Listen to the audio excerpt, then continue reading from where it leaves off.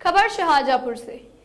शाहजहापुर कस्बे के राव सोहन लाल पीजी महाविद्यालय में संत शिरोमणि दुर्बलनाथ महाराज की 160वीं जयंती भाद्रपद्र मास शुक्ल पक्ष जलझूलनी एकादशी के पर बड़ी धूमधाम के साथ मनाई गई। विधि विधान के साथ कार्यक्रम का शुभारंभ किया।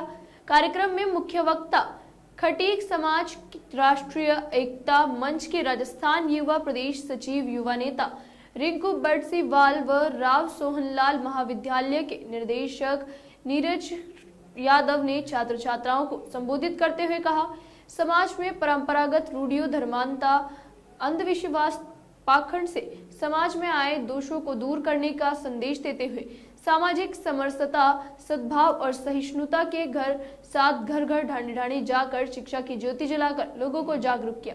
महिला शिक्षा बाल विवाह के प्रति लोगों को जागरूक किया। इनकी त्याग, तपस्या से प्रेरणा लेकर अपना उज्जवल भविष्य बनाए। इस दौरान कार्यवाहक प्राचार्य डॉक्टर कौशल कुमार यादव, कोऑर्डिनेटर प्रियंका यादव, प्रवीण यादव, योगेश यादव, कुलदीप, राजेश, नरेंद्र सतीश पूजा, अनुपमा पारुल गुप्ता, आकाश मिश्रा, अंजना आदि उपस्थित रहे।